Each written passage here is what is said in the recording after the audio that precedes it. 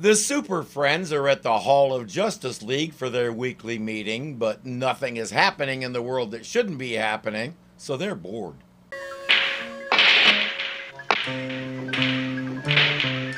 Holy rolling cue ball, Batman. That's an amazing feat. Not so amazing, Robin. After all, there were only 15 balls on the pool table. 16, that is. You also sank the cue ball, which means the shot doesn't count. Marvin is looking for help with his homework, but he won't find it here. Wendy is volunteering at the library. They say, go there. Uh, I'm a rock collector, and I would like to find some books on the subject. Well, we had a book on that subject, but it's out just now. Photosynthesis. F F F O T O. Photosynthesis is spelled with a P, young man, not an F. So that's why I can't find it. Now, the homework sheet he was looking at asked what is photosynthesis, and he pronounced it correctly, so the spelling is right there in front of him. Sometimes I think Marvin is a lot smarter than he appears to be. Other times I'm not so sure. Remember, you're in a library.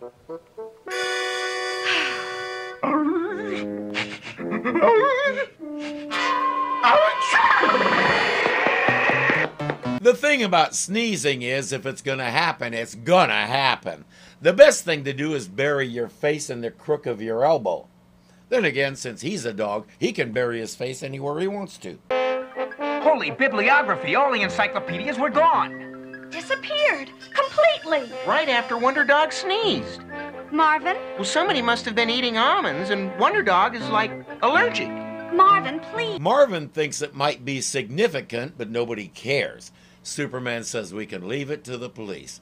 Just then, one of their other communication stations goes off. We're getting a CDQ from the SDI.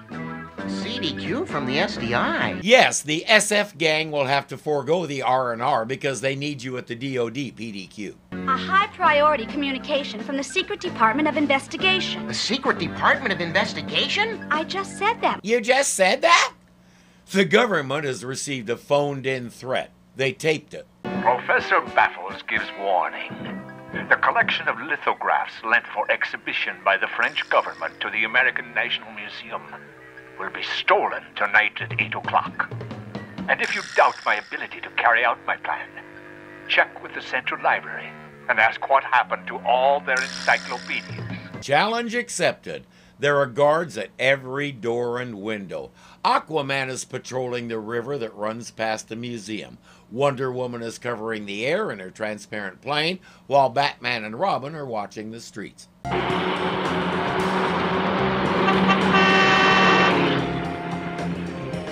Robin, that sign says keep off the grass. Careless of me, Batman. How silly of me not to stay in front of the car to protect the grass.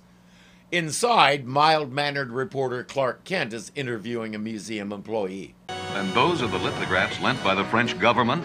Yes, the five on that wall. I only see three, but maybe he's including Marvin and Wendy. Do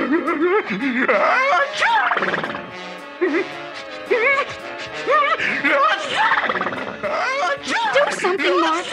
Wonder Dog, stop sneezing!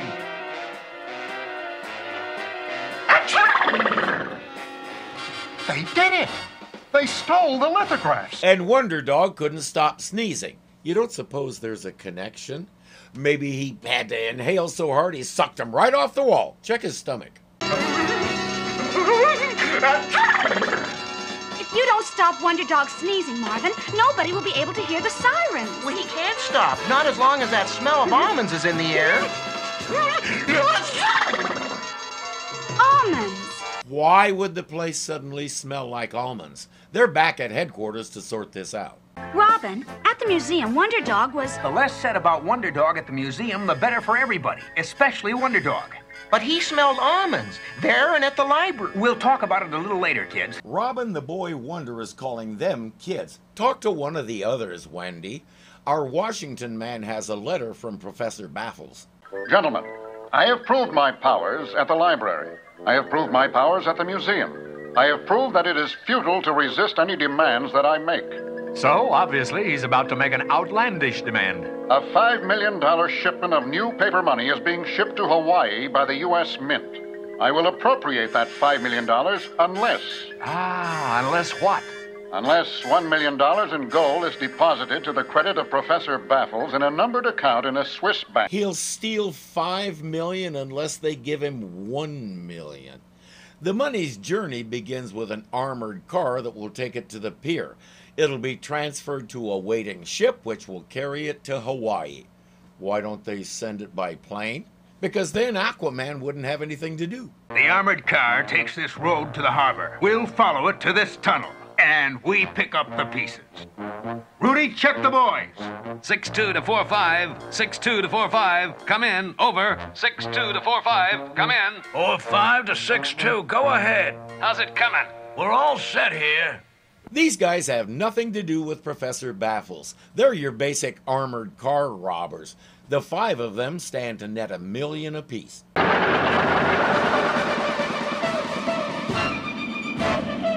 Wonder Woman to Batman. Go ahead, Wonder Woman. There's some suspicious activity in the Wadsworth Tunnel. Right, we'll investigate. But those guys have no idea what they're up against. They park the bulldozer in the tunnel and take off. Where'd that car come from? Arnie and Harv will block the tunnel. We'll come up behind them. And surprise, we own $5 million, Rudy. I think Superman is laughing at them. The armored car just entered the tunnel. It's Batman. How on earth did you recognize me? Your beautiful eyes are unforgettable. Now let's go into the tunnel and see what you chaps have been up to. We can't do that, Batman. Why not? That armored car will come barreling through here any second. We better get out of here. Hold on. Let him go, Robin. The whole idea of the dozer is so the armored car doesn't come barreling through, so I have a feeling he may be lying. Batman and Robin find the tractor in the tunnel. They know what to do. Yeah, Robin can hop on it and back it out of there.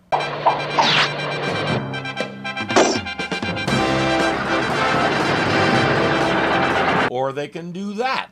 The armored car rolls along without incident, followed by our would be robbers and Superman.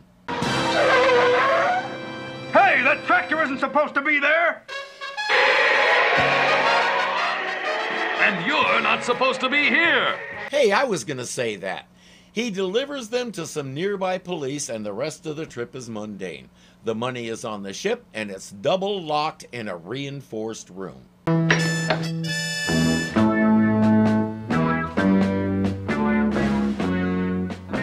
There's Mr. Mergen. Mr. Who? That nice man we met in the library. Mr. Mergen! Mr. Mergen! Hello, Mr. Mergen. Taking a trip? Yes, I'm on sabbatical and I thought Hawaii would be a good place to start my vacation. He picked a strange way to get there. This is a cargo ship, and he really should stop wearing that almond scented cologne. That's why I was so glad to see you. So I could tell you I saw a Brazilian agate yesterday. A Brazilian agate. Yes, a lovely bird, the Brazilian agate. Well, young lady, I must get to my cabin. It was nice seeing you again. Goodbye. I can't blame her for being confused, even if the Brazilian part throws you off. An agate is a rock. In the library, he said he was a rock collector. Who confuses a rock for a bird? Well, I guess there's nothing for us to do. There's one thing to do. Make sure that money is in the strong room.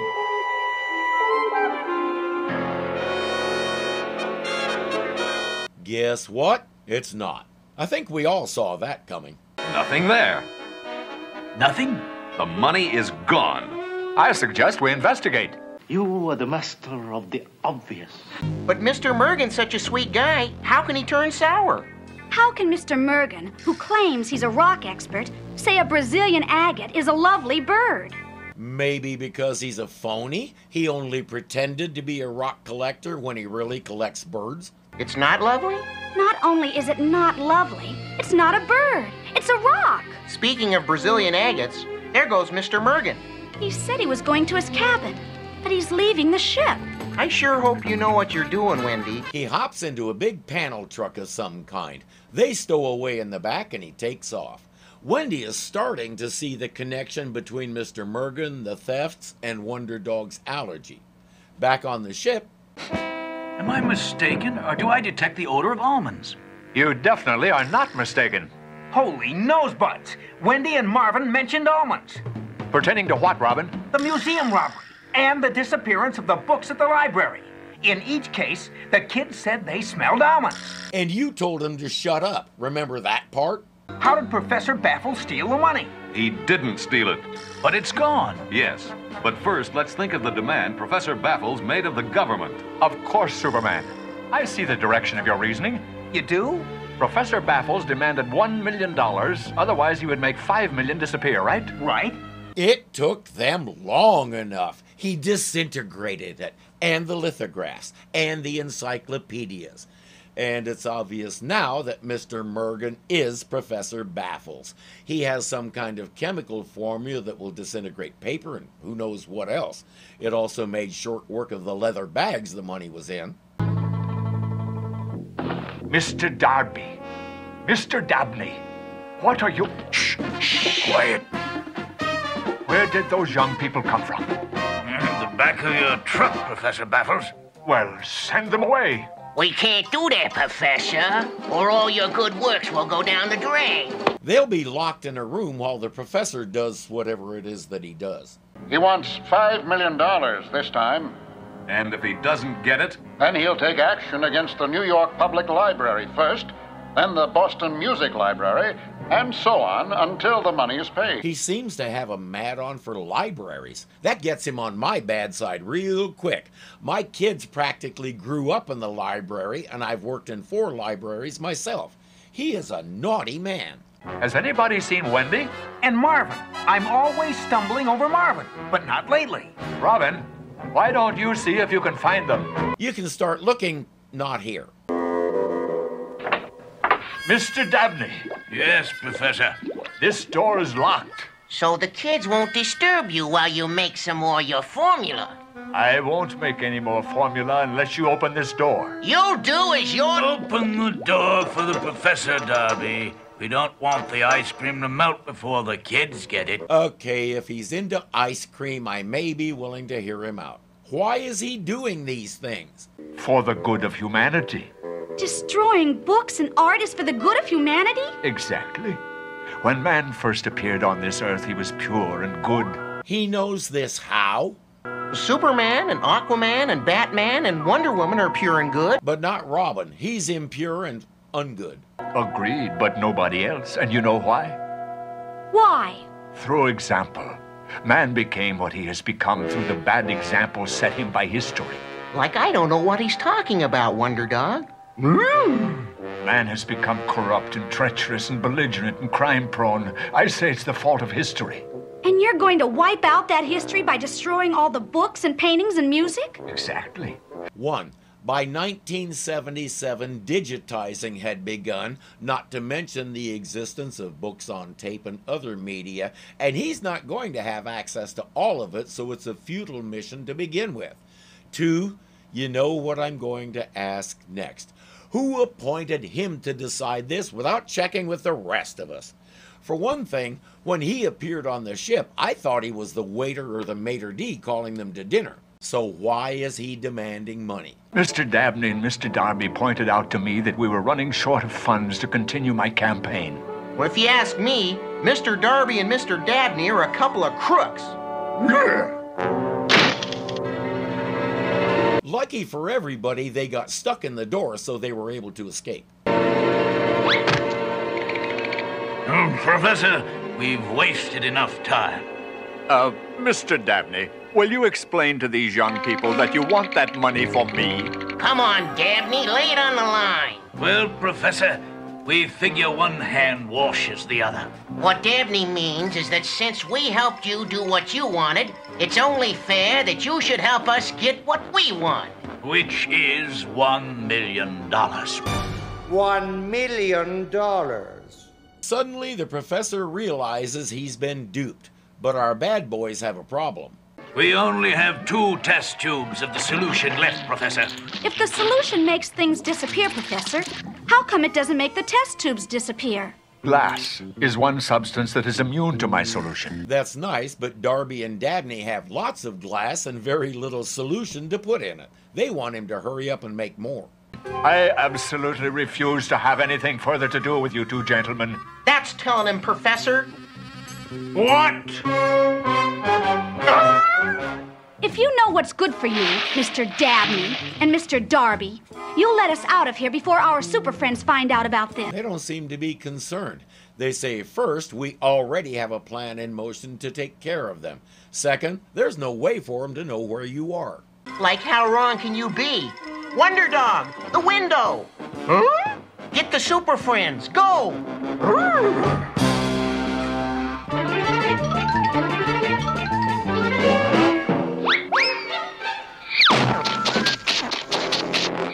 Ay, ay, ay. Now they're chasing him back and forth across the room. Duck, Wonder Dog. One vial gone, one left. I wonder if the super genius realizes what he just did.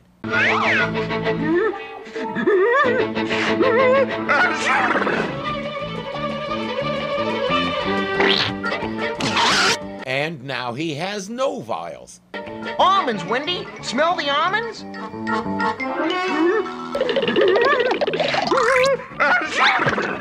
Then again, I could be having trouble counting to two. It's happened before. Go,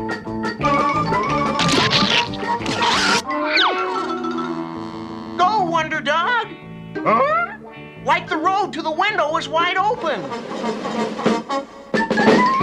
Even better, the window is open this time.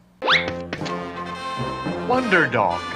Where's Wendy? And Marvin. He has to pantomime the situation as best he can, so he starts sneezing. Robin, didn't you mention that Wendy and Marvin said they smelled almonds at the scene of each crime? And by the way, aren't you supposed to be out looking for them? Wonder Dog will finish his story and lead them back to Murder's factory, warehouse, whatever it is. But there's nobody there. They moved Wendy and Marvin to that ever popular abandoned amusement park. Why do you suppose our three friends are inside that ticket booth? Well, maybe they're trying to sell some tickets. but to who? Grammar boys, that should be to whom. Marvin will try to break through the door.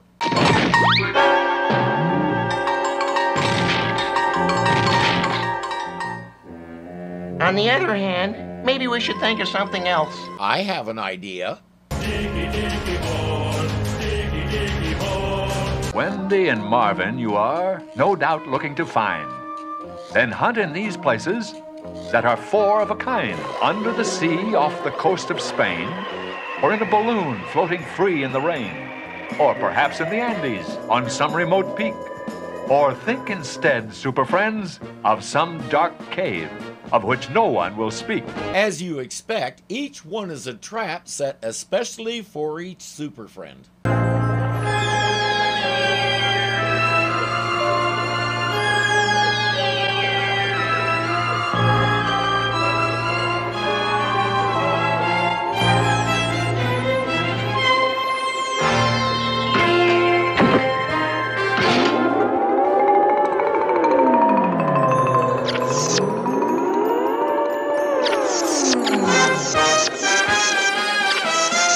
Steel cables. I guess they're supposed to hold him there until he starves or something. He sends out a call for help, but it's going to take a while for anybody to get there. And in the balloon, something is covered by a blanket. But instead of Wendy and Marvin, he finds kryptonite. That's what happens when you don't use your x ray vision first. He's almost unconscious.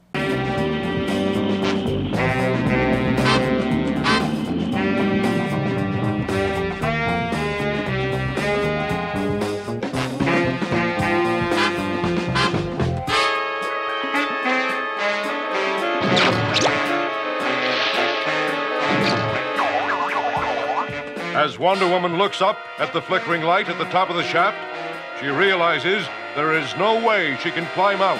Can't she use her magic lasso to catch something way up there and pull herself out? She doesn't think so. Holy hobgoblins! It's dark in here, Batman. Instead of calling upon hobgoblins, Robin, call upon your batlight. Of course, Batman.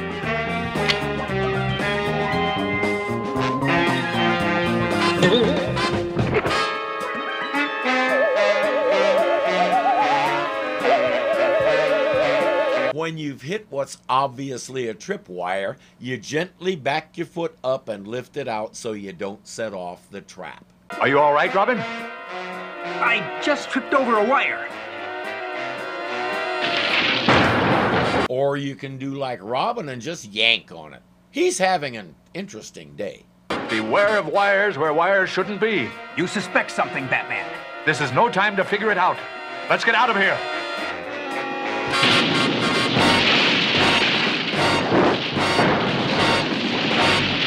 Or not. How many bat bombs did you bring with you? And why did you leave them in the car? I could kick myself for being so naive.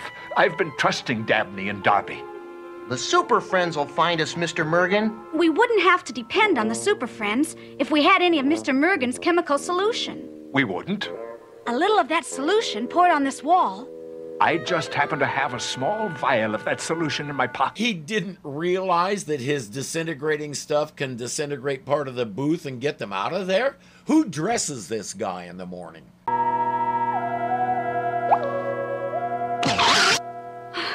Well, that's what I call a super groovy disappearing wall. Like maybe Darby and Dabney won't appreciate us busting up their ticket booth. Yes, it might be wise if we left. Quickly. You saw that correctly. They had to have a round table discussion before they could decide to run away. Monkey tent. Quick, inside.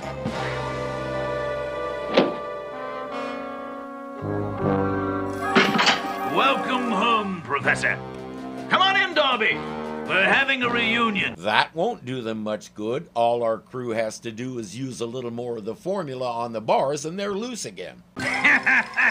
They're not as attractive as the last monkeys we had in the cage. He doesn't think Wendy is attractive. I suspect she was drawn specifically to make prepubescent boys wish puberty would hurry up. If those big blue eyes with no pupils didn't mesmerize you when you were that age, your mind may have been wandering. I was 24, so the images didn't have that effect on me, but I can sure appreciate the careful artwork and style, the way she's drawn to be an absolute knockout without being provocative. Again, she's the pretty girl that little boys can't stop thinking about, even though there's a good chance they don't know why. Aquaman, pinned under the submarine and immobilized by the steel cables that enmesh him, has given up hope that the telepathic messages he had sent had reached any of his marine friends. But now, he picks up the song of a sperm whale as it races toward him. And two moray eels inform him they are on their way. Sorry they're late, the traffic was unbelievable. The whale lifts the sub and gets him out from under it. The eels undo the cables, and he's free. He seriously considered putting himself back there when he saw what they wanted to charge him for a few seconds' work.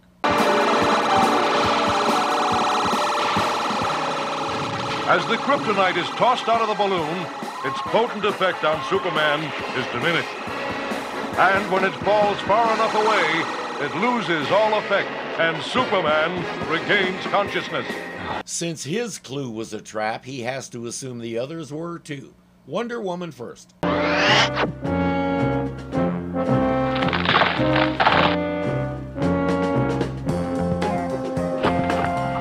No, I don't know why he didn't just fly down there and lift her out instead of killing a tree. Batman and Robin next. Wonder Woman will check on Aquaman. Hey, you're double parked. Move your car already. I need to get going. You do go to great lengths to assure privacy, Batman. Well, you know how it is, Superman. If one doesn't get off the beaten path, anyone can drop in. Superman took that personally and started putting the rocks back. While they were dealing with all that, a police officer delivered the money to the bad guys. But still, nobody knows where Wendy and Marvin are. I'd like to make them disappear. Marvin, Don't let their nastiness make you nasty. Well, I don't mean to hurt them. I just like to see the last of them. You can. They're distracted by the money. Use a little formula on the bars and slip out. Mr. Mergen, Yes, Wendy. the rest of your magic solution, where is it? It took her long enough to think of that. Get to work on those bars. If I threw it on the fire The fire would disappear. And the smoke, Why would you do that? Use it on the bars. I suppose the smoke would just float on out into the air. that's all I wanted to know. Can I have it, please? Yes, the smoke will dissipate and become nothing, so the idea is pointless. But her theory is that the smoke will travel out in all directions and eventually Wonder Dog will smell it. Just make the bars disappear and you can walk to where Wonder Dog is. Why the convoluted plan that depends on undependable air currents? But you know it's going to work.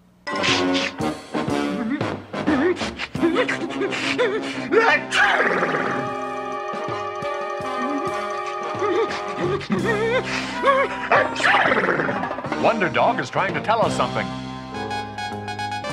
Yeah, the same thing he's been telling you all episode. His allergy can guide you to the bad guys. It's too bad you dudes still haven't learned that, so he has to start from scratch every time.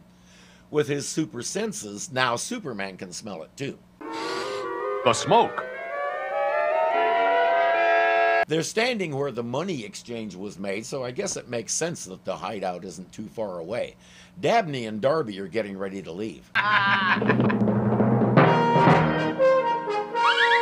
I said Dabney and Darby are getting ready to leave. Uh, folks, they'd really like to leave now.